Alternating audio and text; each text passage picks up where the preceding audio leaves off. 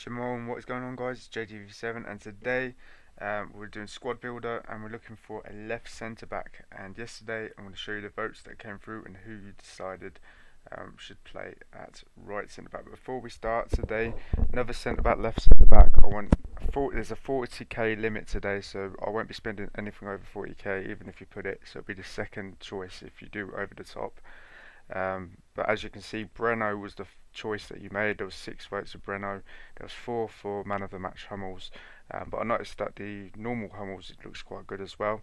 But anyway, you choose. Um, I'll let you guys vote now. So just put in the comments whoever you want me to put at centre back, as long as it's below 40k. So see you later, guys. Left centre back today. Get, get voting by tomorrow. Okay, bye.